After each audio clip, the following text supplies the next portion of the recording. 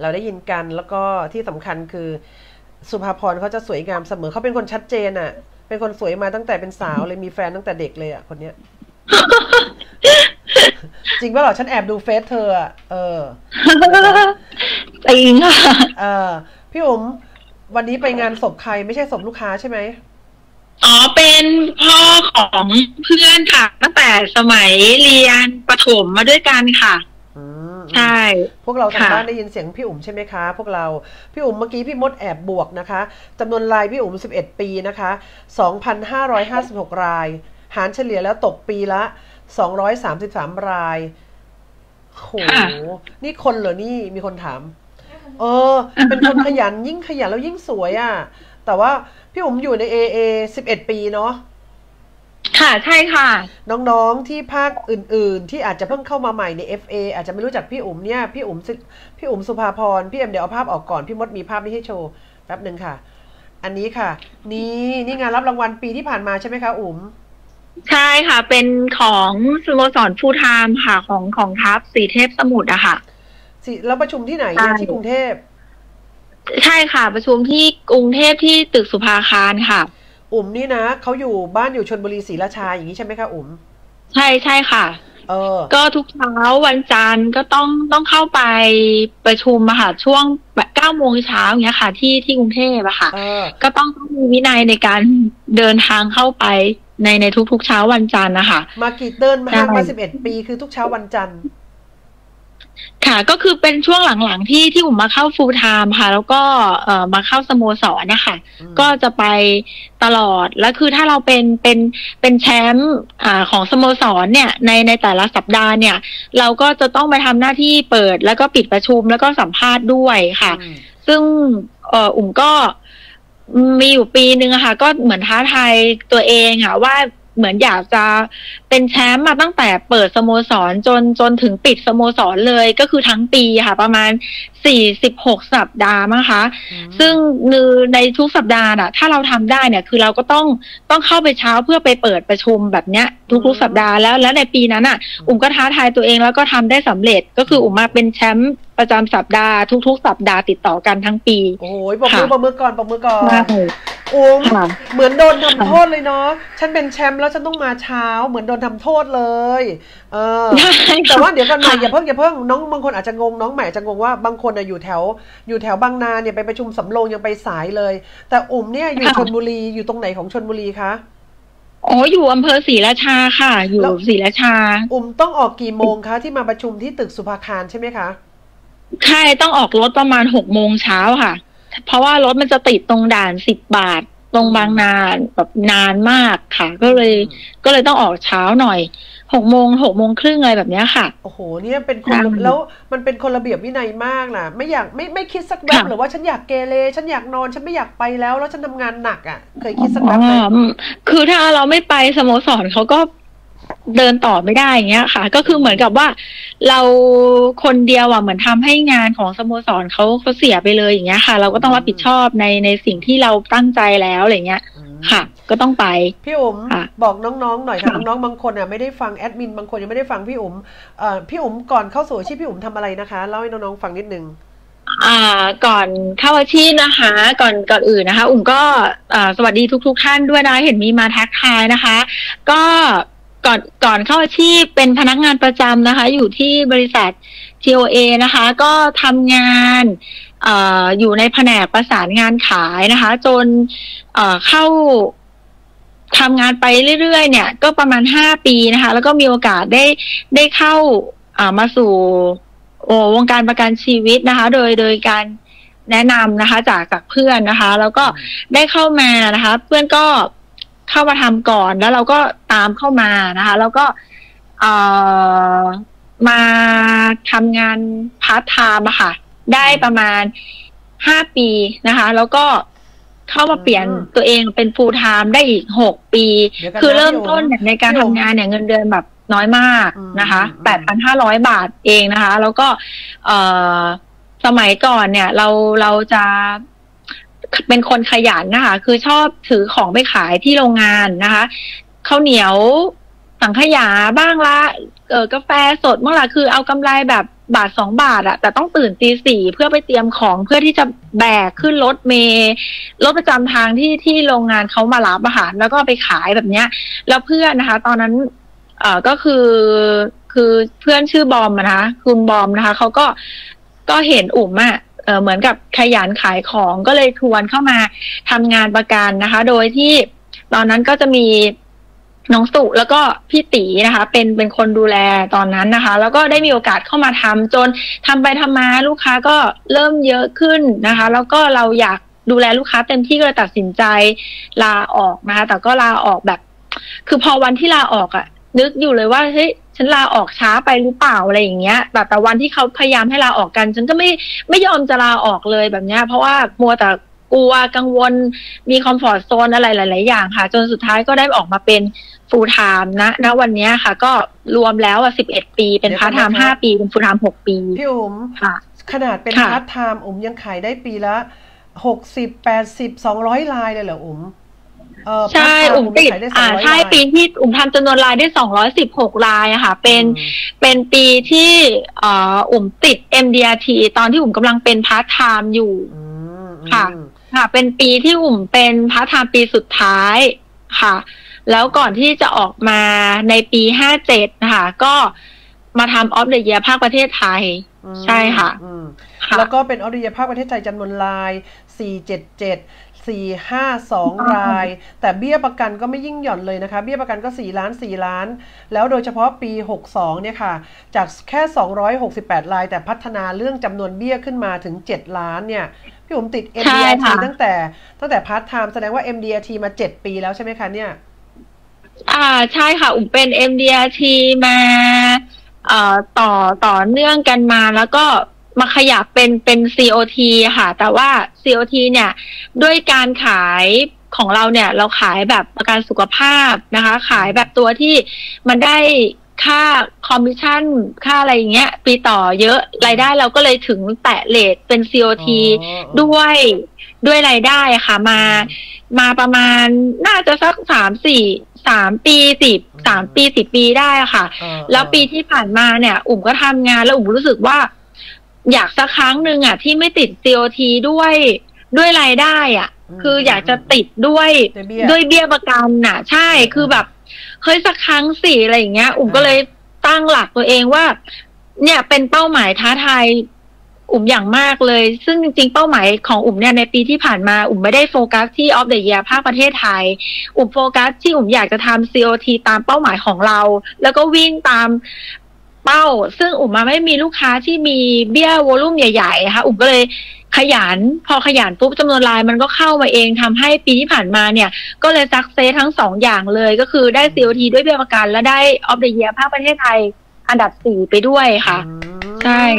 ค่ะอืมนะคะแอดมินฉันนั่งอ้าปากฟังเพลินนะคะว่าครับน้ำหนักอันนี้อ่า อันนี้มันดีเลย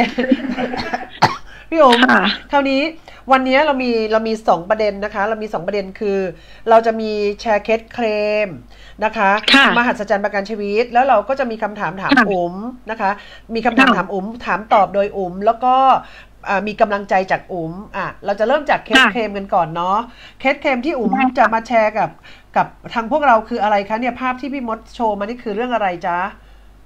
เอ่อต่อยอ ดเดี๋ยวอันนี้ก่อนภาพต่อยอดจากการใช้โซเชียลหรือว่าจะเอาเคสเคลมก่อน ต่อยอดจากการใช้โซเชียลได้ก็ได้อ๋อได้ก็เอาเป็นเป็นเป็นเคสเคมก่อนก็ได้ค่ะครูโอเคคะอะเอาเคสเคลมก่อนนะคะ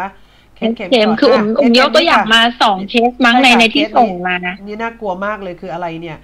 yes ในที่อ๋สุอดก็อนุมัติใช่แล้วไหมอืมคืออะไรค่ะ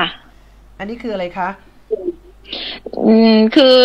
ตอนนี้ เดี๋ยวนะในในจออุ่มยังไม่ยังไม่เห็นภาพค่ะนะคะน่าจะเป็นก้อนเนี้ยแหละอุ่มว่านะใช่ yes คือตในอนที่สุดเราก็อนุมัเคติสแล้ว ตอนแรกก็นั่งลุ้นว่าจะได้ไหมนะขอบคุณตัวแทน วิ่งเต้นให้เอาดอกไม้มาให้แถมกระวนกระวายใจซะยิ่งกว่าคนไข้อีก ขอบคุณนะอุ๋มขอบคุณตัวเองด้วยที่อ๋อทำประกันค่ะหมดเป็นแสนไม่ต้องจ่าย อันเนี้ยคืออะไรคะค่ะ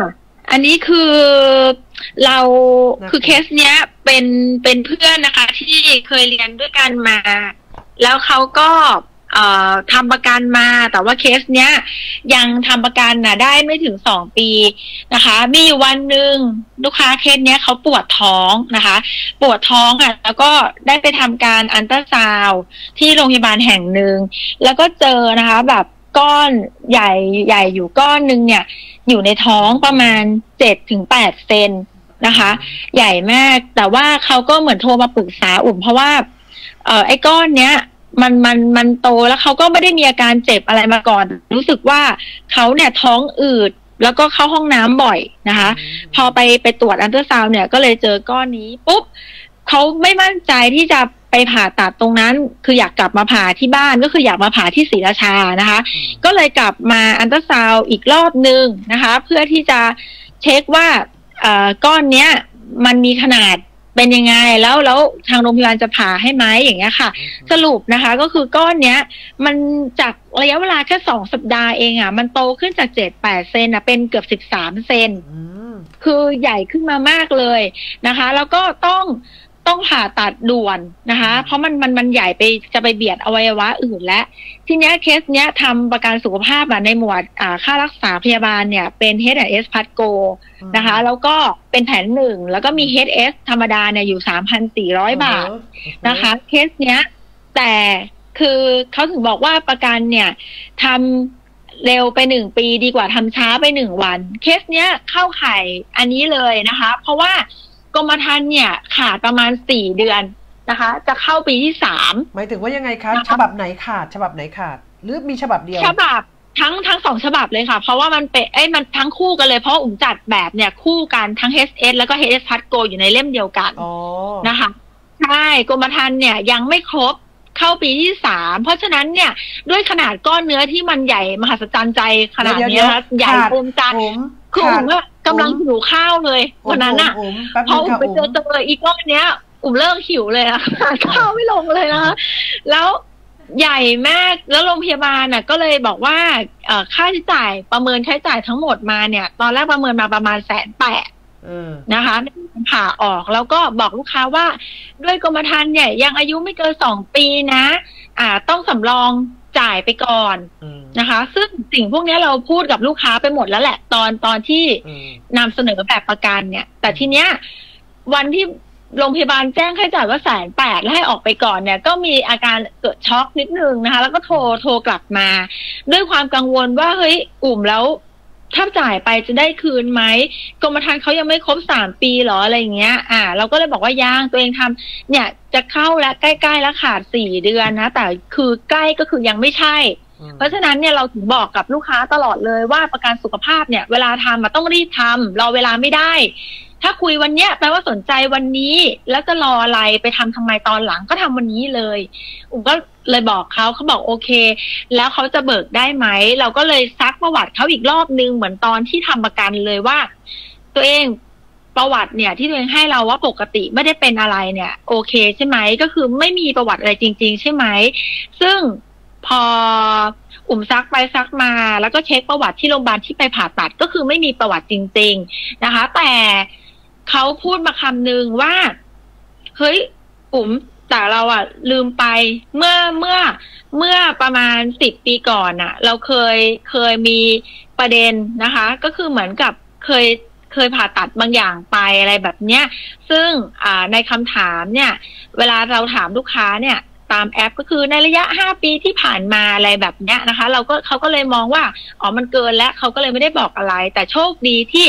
ประวัติตรงนั้นน่ะคือมันไม่ได้เกี่ยวข้องกับการทำประกันและคุ้มครองแล้วเพราะการตัดทิ้งออกไปแล้วเนี่ย มันก็คือไม่ต้องคุ้มครองเรื่องเรื่องในส่วนนั้นอยู่แล้ว เพราะฉะนั้นเราก็เลยยืนยันลูกค้าว่าสบายใจได้เคสเนี้ยจ่ายแน่นอนนะคะ บริษัทนะคะ ก็ก็น่ารักนะคะ พอลูกค้าทำเคลมไปปุ๊บเนี่ย ประมาณเขาก็ไปสืบนะคะมีสืบอยู่นะคะ ก็ก็มีมีไปขอประวัติไปอะไรมั่งซึ่ง ซึ่งลูกค้าเราเนี่ยก็โอเคด้วยเรื่องประวัติตามที่แจ้งเราทุกอย่างเลยนะคะ สุดท้ายเนี่ยเออบริษัทอะก็จ่ายสินใหม่ให้ลูกค้าเคสนี้มาครบทุกบาททุกสตางค์ตามผลประโยชน์ของกรมธรรม์ที่เขาพึงได้นะคะ แล้วลูกค้าเนี่ยเขาก็เลยรู้สึกบวก บวกกับประกัน ซึ่งตอนแรกอุ๋มอะเคยขายประกันเคสเนี้ยไปแล้วหลังจากทำประกันฉบับเนี้ยก็คือแนะนำให้เขาทำ CS Supercare มาหนึ่งอ่าเล่มอ่านะคะแต่เขาก็ทำไว้อุ้มได้ส่งส่งส่งส่งหน้ากรมธรรม์ของคนเนี้ย ไปด้วยที่อุ้มปิดอ่าเป็นสติกเกอร์อ่าเอาไว้เดี๋ยวกันนะก็อุ๋มคืออุ๋มอุ๋มได้ยินค่ะพี่เปล่า ค่ะอ่าได้ยินค่ะค่ะ อันเนี้ยคำว่าขาดเนี่ยคือขาดกรมธรรม์ยังไม่ครบสองปีใช่ป่ะใช่ค่ะ เออพี่ก็ยังไม่นึกครบเอ่อพี่ค่ะก็นึกว่ากรมธรรม์มันขาดความคุ้มครอง สรุปใจะเย็นๆอย่าเพิ่งเล่ายาว คนฟังฟังไม่ทันค่ะสรุปแล้วอ๋อลูกค้าเนี่ยค่ะทำประกันมายังไม่ครบสองปี เวลาเคลมใหญ่ใช่ๆอย่างเงี้ยบริษัทก็มีสิทธิ์ขอสืบ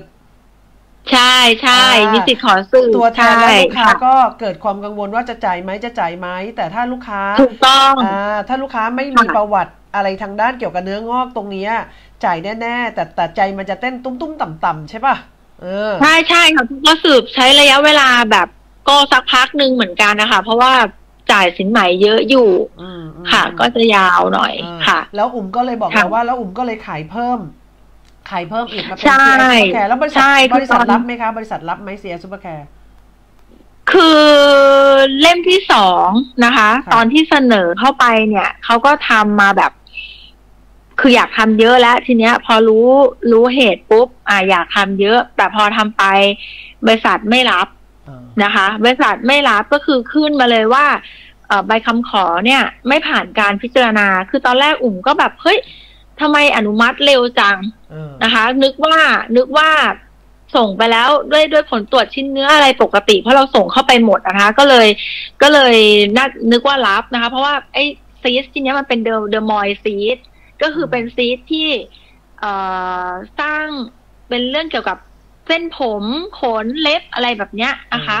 อ่า มันก็มีโอกาสสูงที่ที่มันจะเสี่ยงกับกับอืมมะเร็งบริษัทก็เลย แล้วผ่าตัดมาได้แบบประมาณเดือนเดียวเองอะ่ะเออผมก็ไปเออเสนอ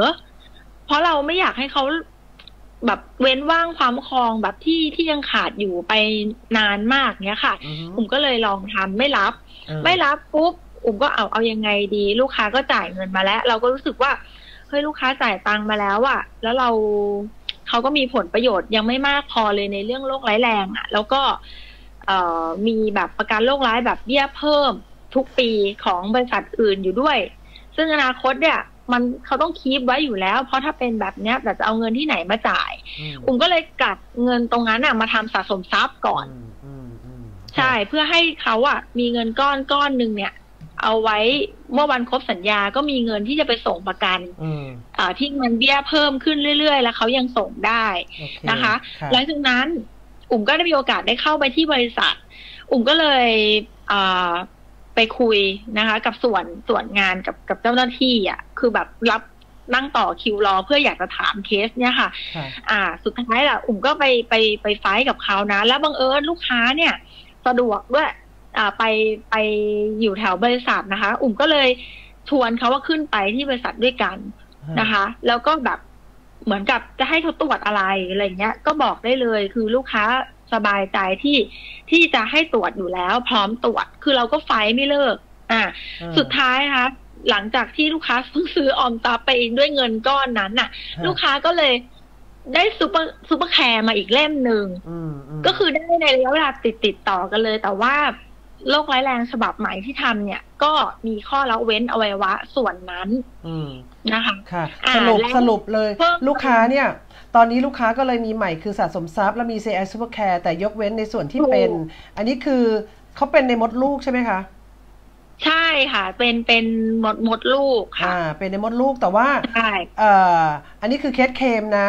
แล้วคนเนี้ยคนเนี้ยที่อุ๋มส่งมาคืออันไหนนะคะ ที่บอกว่าหน้ายิ้มนี่หรือเปล่า คนใช่หน้าที่มันเป็นตัวโอเคอะค่ะ ที่เป็นตัวสติกเกอร์ แล้วมีตัวโอเคตุ่มที่เป็นทำนิ้วโอเคอะอะไรค่ะวะครูที่คาดผมสีฟ้าทำผมสีฟ้าเดี๋ยวกันนะคาดที่อ่านี่ไงคาดผมสีฟ้าอ่านี่คือสีเขียว อ่าอ่านี่เปล่า อ่าใช่ ที่มันค่ะจะมีกรมธรรม์หนึ่งเขียนว่าใบคำขอเอาประกันไม่ผ่านอ่าอ่าการนี่คือมีพิหจารนึ่งณาสองสามสี่ห้าตอนนี้คนนี้มีห้าเล่มแล้วใช่ค่ะ เกิดมีจากห้ากรมธรรม์เกิดจากการเคลมอันนี้ อ่านะคะใช่คือคือใช่ค่ะ คือพี่มดอะถามอุ๋มนะคะ พวกเราว่าเฮ้ยอุ๋มมีไหมที่แบบอยู่ๆแบบรายเล็ก ๆ แล้วก็เพิ่ม อุ๋มบอกมี อย่างคนนี้ละอุ๋มเนี่ยอย่างคนอย่างคนนี้ อย่างคนนี้คืออะไรนะคะ อันไหนคะ อุ่มจะเล่าอ่า อันนี้มีหนึ่งอ๋อสองสามสี่ห้าหกเจ็ดฉบับสุดท้ายแสนกว่าบาท ใช่สำหรับสุดท้ายเพิ่งไปขายมาเมื่อเดือนกุมภานี่เองค่ะ อ่า อันนี้คืออ่าอันนี้ไม่ค่ะอันนี้ไม่มีเคลมอะไรแต่ว่าไปขายเพิ่มเรื่อยๆใช่ไหมอุ่มกำลังจะบอกเรา ใช่ใช่ค่ะ เคสนี้ไม่มีเคลมค่ะไม่เคย ไม่เคยมีเคลมมีเคลมอ๋อมีเคลมเล็ก ๆ น้อยๆคือไปไปนอนโรงพยาบาลด้วยไข้หวัดใหญ่อืมอย่างเดียว อันนี้นะคะก็ ค่ะค่ะ อันนี้มันเป็นความสงสัยของพี่มดค่ะว่าพี่มดถามอุ๋มแค่ว่าเฮ้ยอุ๋มมีไหมที่แบบเนื่องจากอุ๋มเขาเป็นคนขายจำนวนรายเล็กรายน้อยนะคะ แต่จริงๆก็ไม่น้อยนะเนี่ยสี่หมื่นเจ็ดพันสองหมื่นหนึ่งสองหมื่นสามหมื่นสามหมื่นหกแสนสองอันนี้อันนี้คุณลูกค้าเนี่ยเป็นเป็นโสดหรือมีครอบครัวคะอุ๋มคนนี้เคสเนี้ยมีครอบครัวค่ะเคสนี้เป็นค่ะผู้หญิงผู้ชายคะอันนี้ เป็นผู้ชายค่ะ แล้วอุ๋มทำไมถึงมีเรื่องอะไรเข้าไปเติมไปเต็มไปเติมไปเต็มเขาตลอดเวลาคะไอเดียอะไรคะ อ่าคือเคสเนี้ย ฉบับแรกที่ซื้อมาคือเจ็ดพันยี่สิบเก้าบาท อ๋อเจ็ดพันยี่สิบเก้าบาทคือฉบับนี้ อ่าค่ะใช่ เป็นประกันเอ่อโรคร้ายแรงค่ะเป็น ECR กับ AHC หนึ่งค่ะล้านนะคะอ๋ออ่า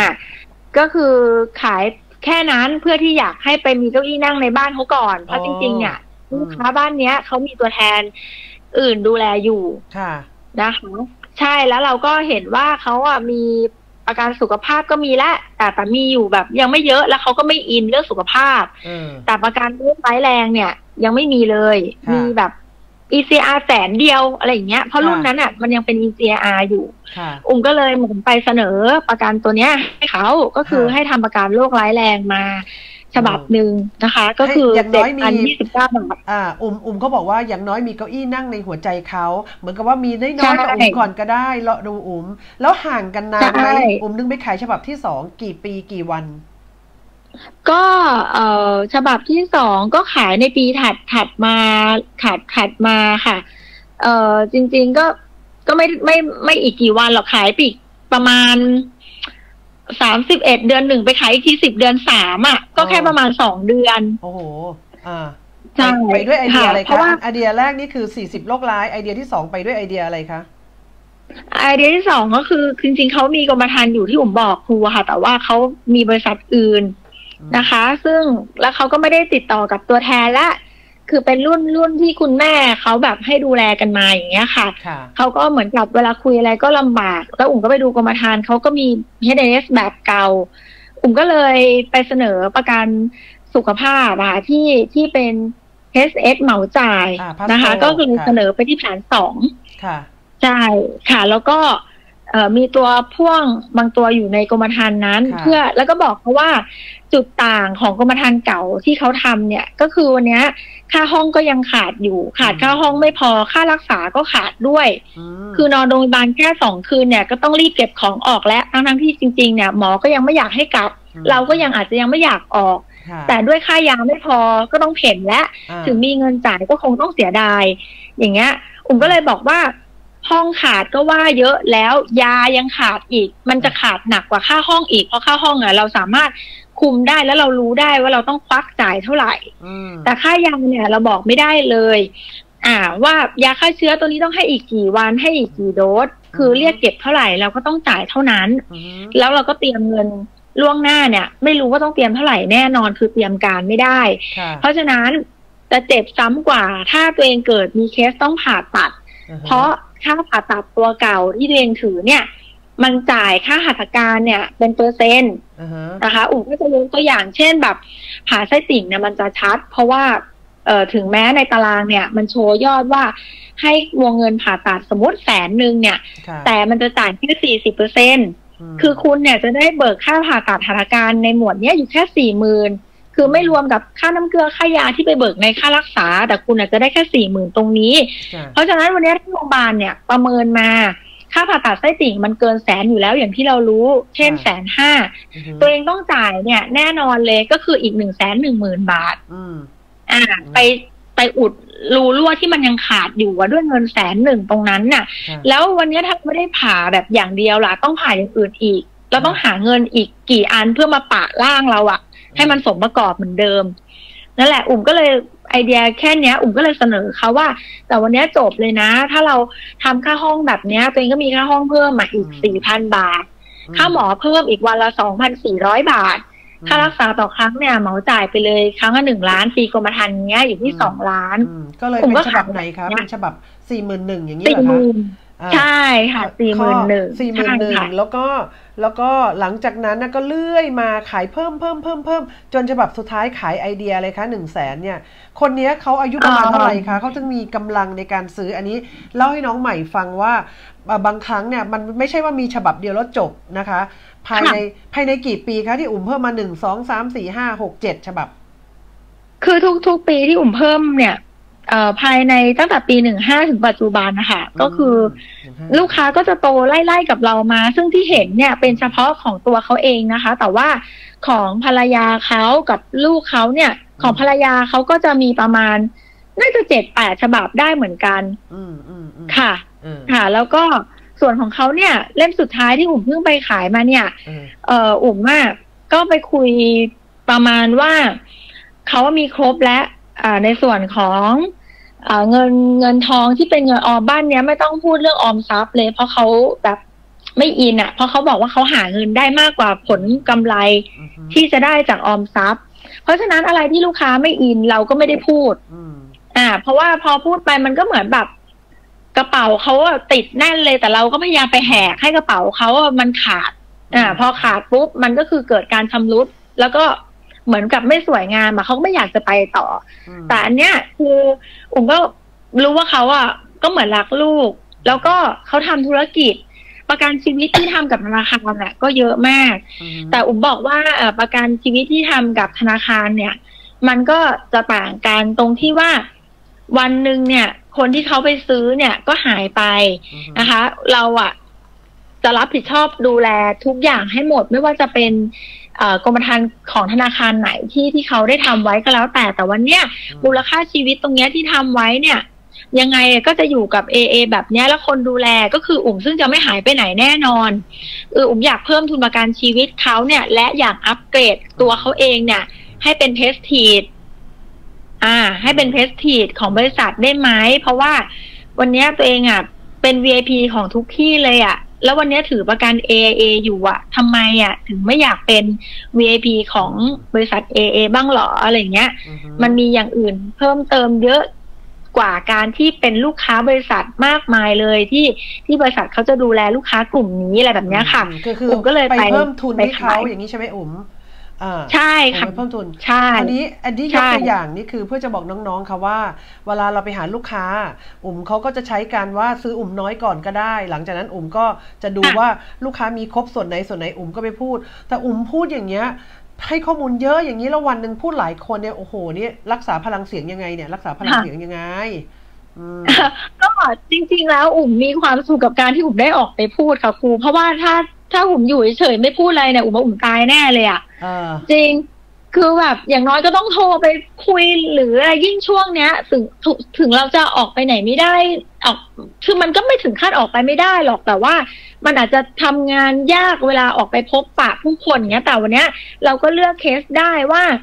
เคสไหนที่เราแบบเอ้ยมองดูแล้ว เออเขาเขาเขาไม่ได้เสี่ยงมากแล้ว แล้วเขายัง ยังพร้อมที่จะเปิดรับเราเลยอะเพราะทุกคนอะเขามองว่าเราอะเสี่ยงสุดแล้วอืมอืมลูกค้าทุกเคสเลยที่อุ่มไปเนี่ยเขาบอกแกเสี่ยงมากเลยนะ แบบเพื่อนๆก็เป็นห่วง แต่แต่ในความที่เขามองเราว่าเฮ้ย เราเสี่ยงจริงแต่เราเซฟตัวเองดีมากนะคะเขาก็แบบยังให้เราอะ เข้าพบอยู่นะคะอุ่มก็เลยแบบยังเข้าไปคุยกับเขาได้ทุกวัน แล้วก็ดูแลร่างกายตัวเองให้ดี เพราะวันเนี้ย ใครที่ดู Facebook อุ่มอยู่เนี่ย คืออุ่มอุ่มก็ไม่เคยป่วยอะไรแบบเข้าโรงพยาบาลหรือหรืออะไรนะคะ เพราะว่าวันนี้อุ่มมีความสุขในในในสิ่งที่ที่อุ่มทำทุกวันมันก็เป็นยาเป็นอาหารทิพย์อะที่มาหล่อเลี้ยงร่างกายเราแล้วเรารู้สึกว่าเราอยู่ได้เพราะสิ่งเนี้ย ค่ะ ใช่พี่อุ๋มแล้วก็เราก็เลยนี่แบบ โอเคมากค่ะขอค่ะโทษนะคะ พี่อุ๋มเนี่ยพี่มดดูที่อุ๋มส่งมาว่าก่อนที่เราจะไปแชร์เคสเคลมอีกเคสหนึ่งนะคะ รักที่สุดเลยเนี่ย อันนี้หลายฉบับมากเบี้ยห้าแสนเจ็ดแต่เริ่มจากเจ็ดพันกว่าบาทเหมือนกันใช่ไหมคะ มีทั้งคนหนึ่งคนค่ะทำไมมีทั้งฉบับแบบว่าเอ่อสามรายเดือนรายสามเดือนรายปี อันนี้มีทั้งหมดกี่ฉบับค่ะเนี่ยพี่มดดูนะคะว่าหนึ่งสองสามสี่ห้าหกเจ็ดแปดเก้าสิบสิบเอ็ด สมมุติว่าพี่เก่าอาจจะบอกว่าโอ๊ยธรรมดาฉันฉันมีเป็นเยอะมากหลายแสน แต่ว่าอันนี้พี่มดค่ะอยากจะบอกว่าคนขยันประตูสวรรค์เปิดรอเสมอ อุ่มเนี่ยเป็นคนขยันแล้วก็ไปเติมเต็มให้ลูกค้าอย่างลายเนี้ยสิบเอ็ดฉบับ ภายในกี่ปีคะสิบเอ็ดฉบับ แล้วมีเบี้ยห้าแสนเจ็ดลูกค้า ลูกค้านี่เป็นเจ้าของกิจการหรือพนักงานคะอุ๋ม คือเป็นเป็นแบบธุรกิจส่วนตัวเป็นค้าขายอะค่ะ ซึ่งซึ่งเคสเนี้ย เริ่มต้นกับอุ่มเนี่ย จะเป็นเล่มสุดท้ายค่ะที่สามพันที่ปีสองพันสิบสามพันสิบหกบาทเนี่ยเนี่ยค่ะเล่ก็มแรกซื้อมาค่ะน้องๆตอนเนี้ยกรมธรรม์เนี้ยเป็น UL ค่ะอืมอืมอ่าค่ะซึ่งทุกวันนี้ลูกค้าเขาก็ไม่ได้ไม่ได้ส่งกรมธรรม์นี้แล้วค่ะ ก็คือใช้เป็นพรีเมียมฮอลิเดย์ไป เออเออ อ่าแต่ว่าก็ไม่ได้ปิดไม่ได้อะไรมันเขาก็บอกเออรอมันขาดไปก็ขาดไปเองเลย เพราะว่าเขาดูแลวเอ่อแบบเขาอยากได้กรมธรรม์แบบอื่นมากกว่าอย่างเงี้ยค่ะอืมเคสเนี้ยเริ่มจากปี2010ก็คือเล่มนี้อืมแล้วก็แบบห่างหายไปไปเลยนะคะ ก็คือไปเป็นปี2015เลย เพราะว่าเคสเนี้ยจริง ๆ เนี่ย ลูกค้าเนี่ยก็เป็นลูกค้ากรมธรรม์บริษัทอื่นอยู่อืม นะคะอืมอ่า ก็ซื้อที่อื่นอยู่ จนมีอยู่วันหนึ่งเคสเนี้ย จุดเปลี่ยนก็คือ ในกลุ่มเพื่อนๆนะคะมีกรมธรรม์แบบเหมาจ่ายกันหมด ซึ่งก็เป็นลูกค้าอุ่มทั้งหมดอืมแล้ววันนั้นเนี่ยก็ไปเยี่ยมเพื่อนคนหนึ่งพร้อมกันโดยที่ไม่ได้นัดหรอก ก็มาเยี่ยมกันประมาณสี่ถึงห้าคนนะคะ คนป่วยก็พูดว่าเฮ้ยเนี่ย ดีจังประกันเนี่ย ที่ทำเนี่ย ไม่ต้องจ่ายส่วนเกินอะไรเลย ค่ารักษาก็แบบ เออจ่ายต่อครั้งต้องห้าแสนปีละล้านคือลูกค้าอุ่มเนี่ย ส่วนมากจะเข้าใจในในแบบประกันที่ทำเพราะเวลาขายเนี่ยอุ่มจะอธิบายทุกตัวให้เขาฟัง เพื่อที่ให้เขาเนี่ย เวลาไปบอกต่อคนอื่นน่ะเขาจะได้พูดต่อ แล้วมันน่าสนใจ คือถ้าไปพูดแค่ว่าเฮ้ยเบี้ยหมื่นสองหมื่นหรือสามหมื่นคนฟังต่อเขาก็ไม่รู้ว่าอีสามหมื่นนั้นมันได้อะไรบ้าง แต่วันนี้ถ้าลูกค้าพูดคือเหมือนให้ลูกค้าขายประกันให้เราอะสักห้าสิบเปอร์เซ็นก่อน อืมอีกห้าสิบเปอร์เซ็นเราค่อยไปขายตัวเองที่หลังถ้าลูกค้าคนที่เขาไปเล่าสนใจอืมอย่างเงี้ยอุ่มก็จะทำแบบเนี้ย ซึ่งในสี่คนที่ยืนอยู่ตรงนั้นน่ะ เป็นลูกค้าแล้วมีเหมาจ่ายหมดเลย มีคนเนี้ยคนเดียวที่ไม่มีประกันสุขภาพแบบเหมาจ่ายอืมเขามี H&S 2008 อยู่กับอีกที่หนึ่งอืมแล้วก็มีแค่นั้นนะคะ แล้วเขามองว่ามันเยอะแล้วแล้วพอแล้วอืมอ่า แต่พอเพื่อนสี่คนอะ คุยกันเฮ้ยแก แต่ถ้าแกผ่าตัดนะแกจะมีส่วนเกินนั่นนี่มากมาย คือทุกคนรุมกันจนวันนั้นที่กลับมาเนี่ย ลูกค้าคนเนี้ย โทรมาหาอุ่มเอง แล้วถามผมว่าแผนประกันเหมาจ่ายที่ทุกคนเขาพูดถึงอะมันคืออะไรอืมอ่าผมก็เลยตามกลับเข้าไปขาย แล้วก็เลยได้ขายเล่มเล่มปีหนึ่งห้าเล่มบนสุดนะคะ คือสองหมื่นหกพันกว่าบาทนะคะ ก็เลยก็เลยขายมา แล้วเนี่ยพี่สังเกตเห็นนะคะ อุ๋มอุ๋มขายปีหนึ่งห้า ขายปีหนึ่งเจ็ดสองเล่ม ขายปีหนึ่งแปดสามเล่ม ขายปีหนึ่งเก้าสามเล่ม ขายปีสองศูนย์เนี่ยเล่มหนึ่งนะคะ คือปีสองศูนย์เพิ่งขายมาใช่แล้วค่ะอุ๋มเนี่ยแบบว่าแล้วลูกค้าไม่บ่นเหรอคะอุ้ยอุ๋มฉันมีเยอะแล้ว 11 เล่มเนี่ย บางฉบับ2องแสนห้าบางฉบับแสนเจ็ดแล้วปีเดียวเนี่ยขาย 3 เล่มน้องๆใหม่ น้องบางคนอาจจะบอกว่า ฉันต้องขายลูกค้าปีละเล่ม แต่อุ๋มเนี่ย อุ๋มไปเติมเต็มหาช่องโหว่ช่องว่างขายตลอดเลยใช่ไหมอุ๋มอืม ค่ะ เพราะว่าจริง ๆ แล้วเนี่ย ขนาดอุ่มว่าอุ่มยังไม่รู้เลยว่าบ้านเนี้ยกำแพงรายได้เขาอยู่ที่ตรงไหนอืมคือจริง ๆ บ้านเนี้ยเขามีด้วยกันเนี่ย มีพี่ชายอีก มีพี่ชายอีกหนึ่งคน มีคุณแม่นะคะ แต่คุณแม่เนี่ย มีปัญหาสุขภาพนะคะก็คือจะมีกรมธรรม์แค่เล่มเดียว บริษัทรับในส่วนของทุนกับ AHC นะคะอ่าแล้วก็มีเอ่อแฟนพี่ชายอีกคนซึ่งซึ่งเป็นลูกค้า กลุ่มทั้งหมดเลยเนี่ยอืมเออ ซึ่งเวลาอุ่มไปเสนออะไรเนี่ย เราแค่เข้าไปคุยว่าทำไมถึงจำเป็นต้องซื้ออันเนี้ยอืมแล้วเขาก็ซื้อทุกครั้งเลย เหมือนเมื่อเดือนต้นเดือนที่ผ่านมาเนี่ยอืมอุ่มไปไปไปชวนเขาอะทำประกันอ่าฮะ CI SuperCare เพิ่มอ่าทั้งๆที่จริงๆเนี่ย ในเนี้ยเขามี CI SuperCare อยู่แล้วอะค่ะสามเล่มเออใช่มั้ยแต่พออุ่มไปเสนออีกเขาก็ซื้อเพราะอุ่มบอกว่า ไอ้ทุกเล่มที่เขาทำเนี่ย มันส่งอะเป็นยี่สิบปีอะค่ะสองเล่มค่ะเป็นสิบปีหนึ่งเล่มค่ะค่ะแล้วเพื่อนอุ่มก็เขาก็เลยบอกว่า เอ๊ะทำไมตอนนั้นทำยี่สิบนะคะ คือสมัยก่อนเนี่ยอุ่มก็ไม่ขาย CI SuperCare เลยจนเนี่ยแหละอืมครูมดก็มาเปิดกระโหลกอุ่มเนี่ยแหละอุ่มอืมก็เลยขายแล้วก็รักแบบประกันตัวนี้นะคะ แล้วเราก็เลยขาย CI SuperCare มาตลอดพอวันนี้เราไปบอกเขาเราก็เลยบอกว่าเออ เราเห็นตัวเองอะ ชอบ แบบหมดภาระเร็วๆอะไรแบบเนี้ย ไอ้ตัวยี่สิบปีอะมันก็ยาวแล้ววันเนี้ยรวมกันอะทุนอะ มันก็ยังไม่ได้มากพอที่จะสู้กับโรคร้ายได้หรอก เพราะฉะนั้นวันนี้เราก็เลยอยากให้ตัวเองเนี่ย มีความคลองเรื่องโรคร้ายแรงค่ะเติมเข้าไปไหวไหมแล้วซื้อถ้าซื้อก็ซื้อแบบส่งสั้นไม่ต้องส่งยาวแล้วอืมเพราะมันยาวมาสองตัวแล้วอืมเพื่อนก็บอกเออก็ดีเหมือนกัน ซื้อแบบส่งสั้น เพราะว่า เผื่อมันหมดภาระ แล้วตอนนั้นเกิดแบบสถานการณ์ทางการเงินมันไม่ดีหรืออะไร ไอตัวยาวก็ค่อยมาว่ากันไหวหรือไม่ไหวไหวก็ส่งต่อ แต่ถ้าไม่ไหวเนี่ยอีตัวสั้นเนี่ยมันก็คุ้มครองเขาแล้วตลอดชีวิตอย่างเงี้ยมคือค่อยๆลดคุยทกัอบนเขาค่อยๆลดทอน เออ เนี่ยใช่อันนี้พวกเราค่ะจะได้มองเห็นว่านักขายจำนวนรายเนี่ย เวลาไปขายทีนะคะ คือไม่ต้องคิดว่าลูกค้ามีเยอะแล้ว เรามีหน้าที่เสนอลูกค้ามีหน้าที่สนองใช่ไหมอุ๋มอ่า ใช่ค่ะ อันนี้อันนี้พักเบรกนิดนึง